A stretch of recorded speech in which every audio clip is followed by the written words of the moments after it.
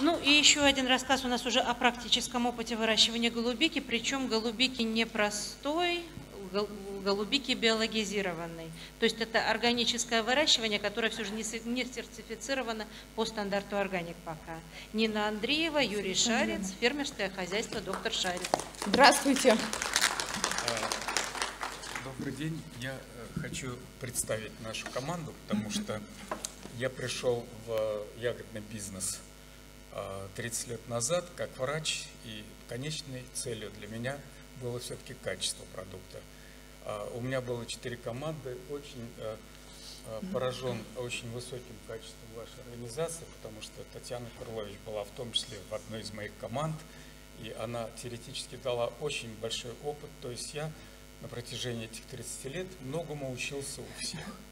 Значит, э, насчет биологизированной, это немножечко, может быть, э, как говорится, продаем мечту, в том смысле, что качество ягоды должно быть э, полезным, потому что сегодня большинство стран, которые употребляют много ягод в пищу, имеют очень высокий потенциал интеллектуальный у своих граждан.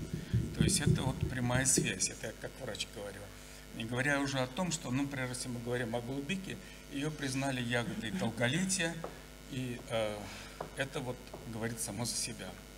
Ну, а прежде чем предоставить э, Нине, потому что то, что она сейчас будет делать, это она еще к тому же и моя жена, и все, что она будет делать э, и рассказывать вам о опыте э, этого биологизированного или пермакультурного выращивания голубики, я хочу, в общем, представить членов моей команды, которые занимаются в том числе ее реализацией. Среди них вот находится здесь Илья Чернышов. Илья, приподнимитесь, потому что потом будут вопросы, возможно.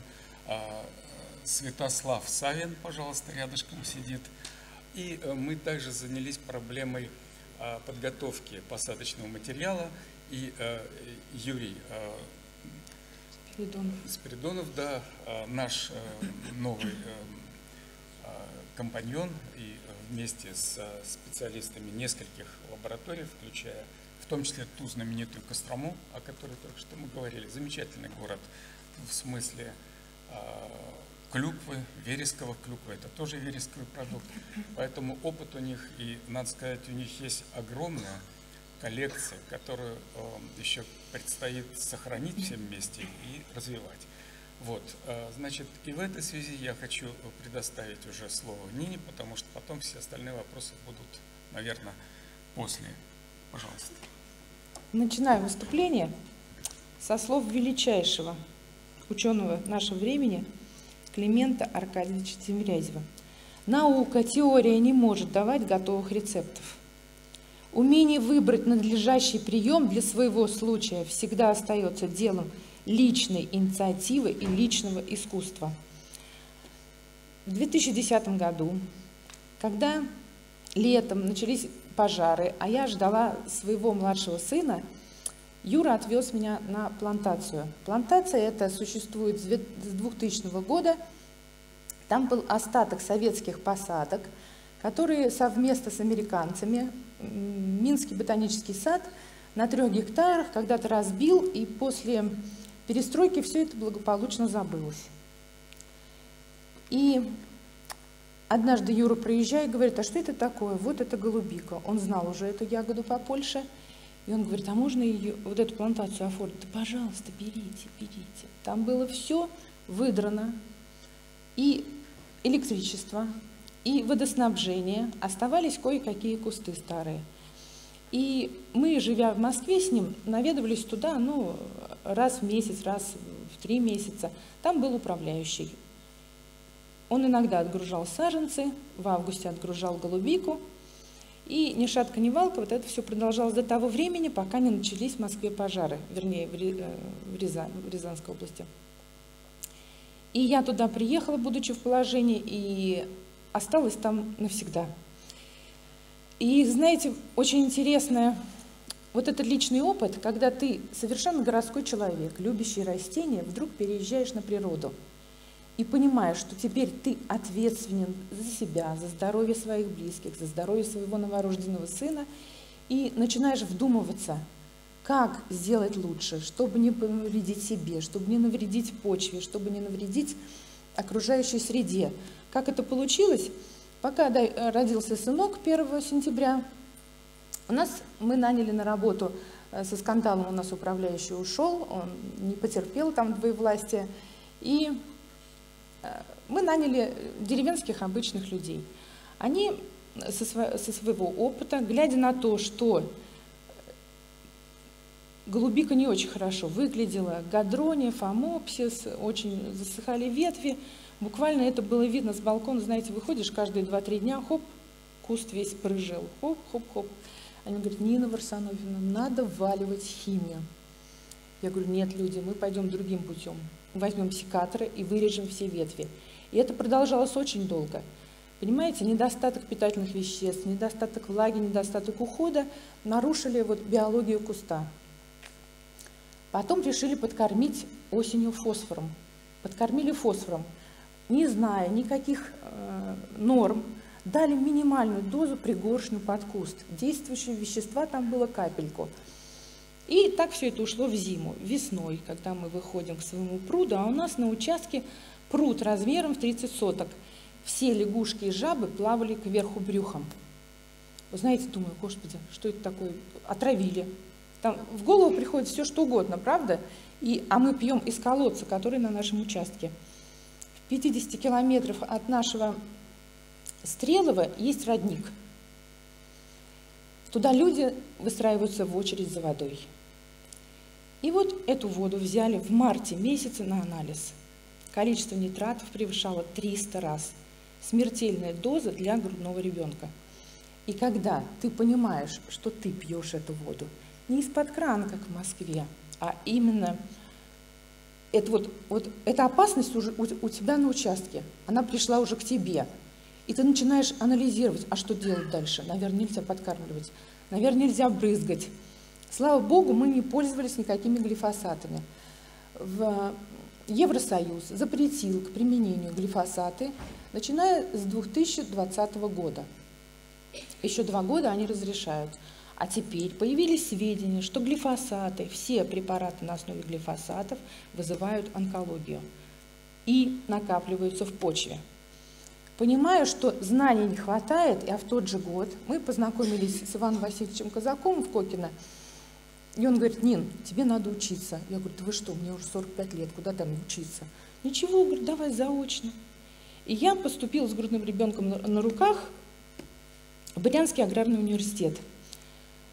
Институт, у меня было художественное образование, первое, которое никак, естественно, никоим образом не помогало выращиванию голубики. И Чему учит институт? Он учит терминологии и к нахождению информации, к правильной информации. Теперь, когда ты понимаешь, что к чему, откуда вытекает, откуда втекает, какая у тебя почва, что не хватает, как сделать, идешь дальше. И я столкнулась с информацией в интернете о пермакультуре. Вы знаете, трудно, если вас спросить, что такое пермакультура, никто, наверное, не ответит вот так вот, обоснованно, как написано в Википедии. Да? На самом деле это агроциноз у вас на участке, то есть замкнутая система, которая сама себя поддерживает, в которой все есть, и микробы, и удобрения, и все-все-все, все, что нужно для вашего растения, которое вы выращиваете на участке. И начинаю уже копать информацию детально, постепенно, постоянно, каждый вечер, консультируюсь со своими преподавателями. На самом деле в университете насчет пермакультуры никто ничего не знал.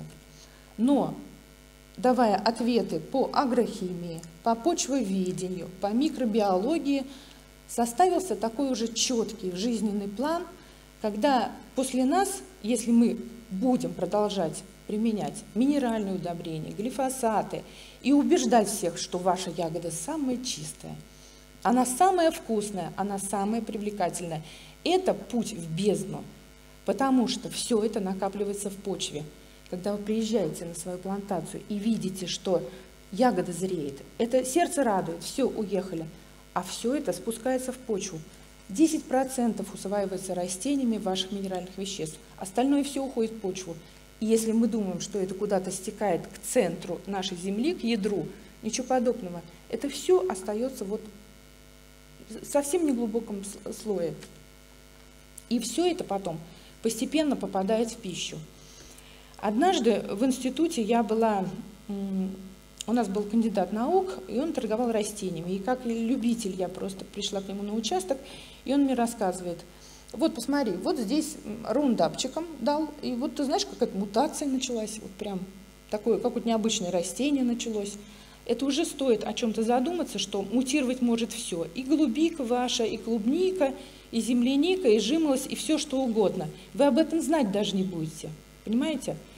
И я обращаюсь к женщинам.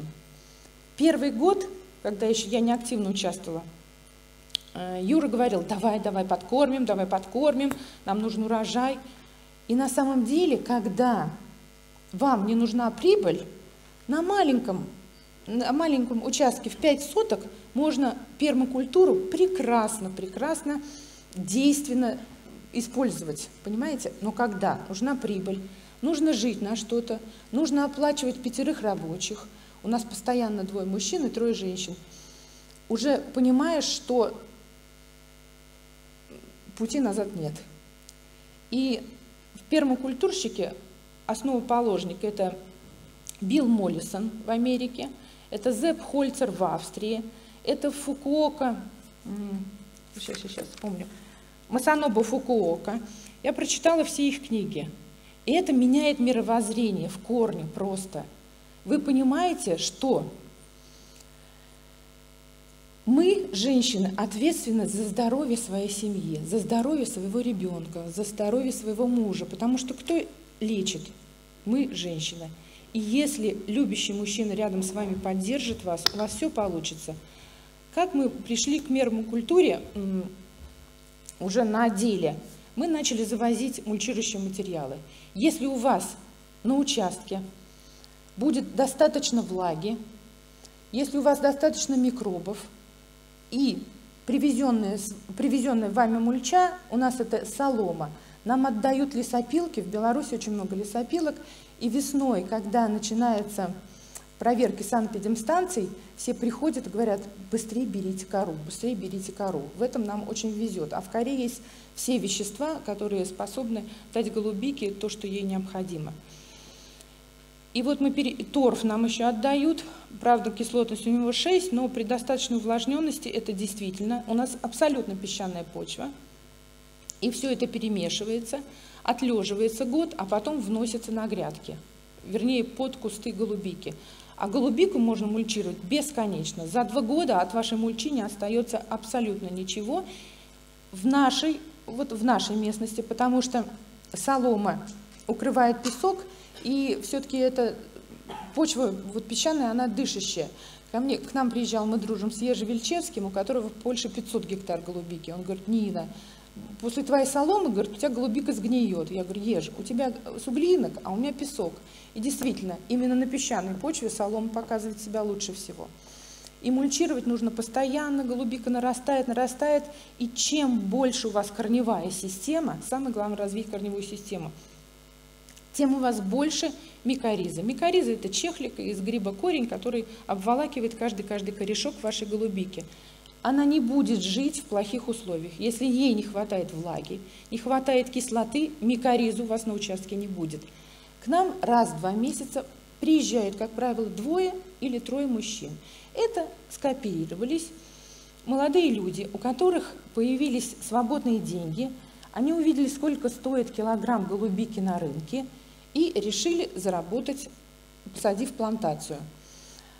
Но зная, что ошибок можно сделать огромное множество, и каждый год это значит потеря, потеря, потеря, мы решили сделать на YouTube свой канал. И я рассказываю там обо всем, обо всем, что я наработала, что я знаю. Вы знаете, были очень интересные ситуации, когда ко мне приезжает фермер и из Беларуси, и белорусы закрытый народ, они не будут вам ничего рассказывать. Но это, наверное, может ко всем так относится, не только к белорусам. И буду говорить, что они собирают столько, что у них то, все. А этот был, знаете, такой вот, откровенный. И он говорит, Нин, а как это у тебя зимними черенками такой выход, там 85%? Мы укореняем черенки еще, зарабатываем на, этим, на этом, саженцы выращиваем. Я говорю, вот так-то, так-то, так-то. Когда мы приехали, вот управляющий рассказывал, вот есть технология, да, шаг влево, шаг вправо, расстрел, не думая ни о чем, и выход был у него там 10% саженцев, 15%. И пришлось думать, размышлять каждый день. Мне главное, чтобы никто мне не советовал, мне надо думать самой. И я, а я говорит, разговаривала с другим фермером, и вот он рассказывает, да брось ты эти зимние черенки, нифига они не получаются. Их льешь, льешь, и они все, и крылышки сложили, и ушли в небытие. Все, говорит, мы делаем зелеными. А там есть маленькие нюансы, которыми я всех, всем рассказываю. Как только у вас черенки укоренились, надо резко сократить полив и начинать проветривать теплицу. А они делают все как зелеными черенками. Там стопроцентная влажность и буквально до морозов. Понимаете? Люди, у которых агрономическое образование, у нас всего лишь 7 лет опыта, а они работают уже с голубикой по 25 лет, и они не научились выращивать. Значит, вот эта косность мышления мешает нам идти. И вот слова Тимирязева я не зря привела, что только личный опыт и личное искусство. Каждый вечер я перед сном читаю специальную литературу, потому что я хочу накормить себя, свою семью и всех людей чистой ягодой, и поделиться, и оставить после себя чистую землю. Ну, Спасибо большое.